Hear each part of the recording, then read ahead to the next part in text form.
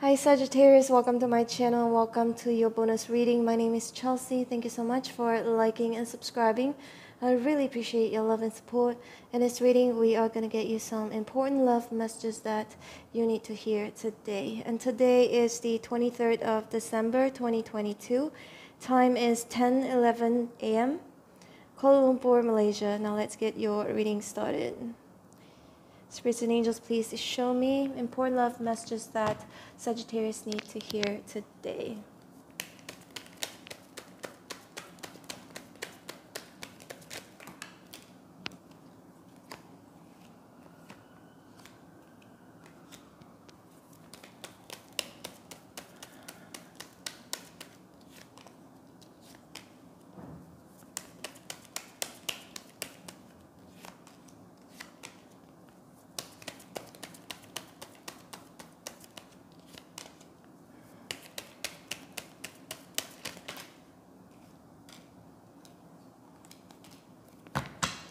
Three of Pentacles at the bottom of the deck. Hmm. Working together or meeting somebody at work for some of you. Or you could just have been working so much with the Eight of Pentacles here and, you know, not Four of Cups here.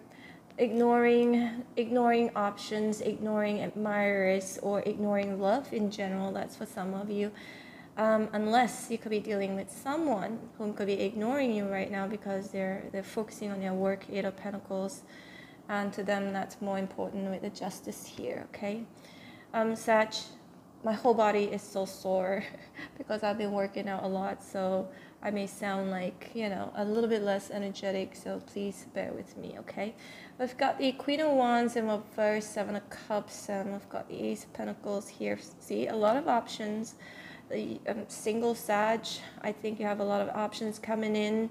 Seven of Cups, uh, Ace of Pentacles, and Ace of Cups here indicates a new love offer and another love offer, but you know, the Pentacle, you know, it's more of a solid offer. It could also be taking a relationship to the next level if you're currently connected with someone right now. Oh my gosh, there's Ace of Wands too. You have three aces. Yep, you have three aces, one missing, which is ace of swords. So the missing ace of swords meaning clarity. Um, and there's no clarity in regards to these options here with the seven of cups. So you're going to be a bit confused. Some of you, maybe this is what's going on right now. If not, it could be coming in. It could be happening in the near future. That, that, that you're going to be getting like literally a headache. um, because it's a it's a good problem to have though. That means you have a lot of options coming in, and you will have to decide, right? And you don't have to decide that quickly. Spirit's definitely saying that.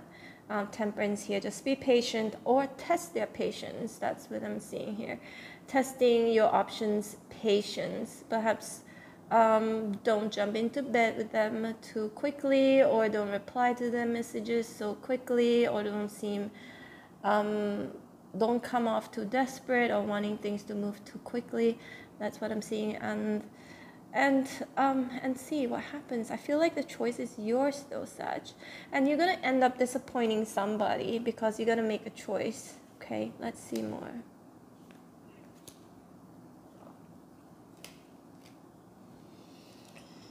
Okay, the Queen of Wands here is in reverse. I see you not taking any actions that quickly in regards to these options that you're going to be have that you're gonna have to decide. Yeah you're gonna have to decide. And i feel like um, spirits also could be encouraging you to not take actions as of yet right now and perhaps prioritize your work in the pentacles and the justice here because it feels like it's it's very important to you right now. Your money your career and just kind of with the seven of cups and all these new beginnings options coming in I feel again that, you know, if they could wait for you with the temperance here, if they could be patient with you or wait for you, I think that could be that one person that you might end up choosing with the King of Cups here. Doesn't matter King or Queen, it's not gender specific. One second. Excuse me. So the King of Cups is, I feel like eventually you're going to choose somebody else, basically telling you to choose somebody who loves you unconditionally, almost unconditionally, or somebody whom is very emotionally stable and emotionally uh, uh, not unavailable, emotionally available, okay? Somebody completely stable, whom has a very good temperament, doesn't just lash out, doesn't, you know, um, somebody who doesn't really all, who doesn't wear their heart on their sleeves. There are people are like that that I know a lot of my friends are like that, and I always tell them to calm down because you know they wear their heart on their sleeves and they tend to become very irrational, too emotional sometimes. Um, so basically saying to you know choose somebody who is emotionally stable and not somebody irrational. Okay, um, somebody who like are people who just take actions towards uh, just because they feel they feel a certain way. And you know that's that's that part that I feel like it's very very challenging to a lot of people because um, it's hard not to act with your emotions you know um, it's even harder. I mean it's hard not to act towards your emotions because you know of course we want to do we feel that way we want to do something about it right? But always take one step back and think first instead of following your heart or your emotions or your mood. I feel like for some of you, Sag, perhaps this could be saying, you know, with the Queen of Wands here, Emerald Person, the Seven of Cups, Ace, all these aces and the Temperance, perhaps um, don't choose somebody or don't rush into it. Be patient or again, test your patience and see who is eventually going to be worthy of your love. The King of Cups, I feel like you're going to choose the Ace of Cups, which is the King of Cups, that one person whom is the most genuine, um, that person where I feel who understands you, somebody very caring, somebody emotionally available, very stable. That's what I'm getting here. Um, just ready to love, ready to start you know a connection a relationship that is again very genuine and unconditional. But the ace of pentacles it feels like you may also have one person who is going to buy your love you know um, try and impress you with the things that they have how successful they are. And you have another one here with ace of wands whom is going to try and seduce you because the ace of wands a very seductive energy seduce you uh, sexually or very charming very good looking but I feel like eventually you're gonna choose that one person that you can, um, that you feel more connected with on a soul level. That's definitely what I'm seeing here. The High Priestess, yeah, I see you keeping quiet for a while. Basically saying just keep quiet. You know, have to choose right away. see who works the best with you, with your goals, with your environment. Three of Pentacles, and you you're gonna end up disappointing a couple of people here, or one Eight of Cups in reverse, Three of Cups in reverse. Some of you, it's also an offer from someone from your past returning that you haven't been speaking with in a while. Um, this person could have been suppressing their feelings towards you. And I don't know, I feel like Sag with Three Cups here reverse. Some of you may or may not accept this person returning.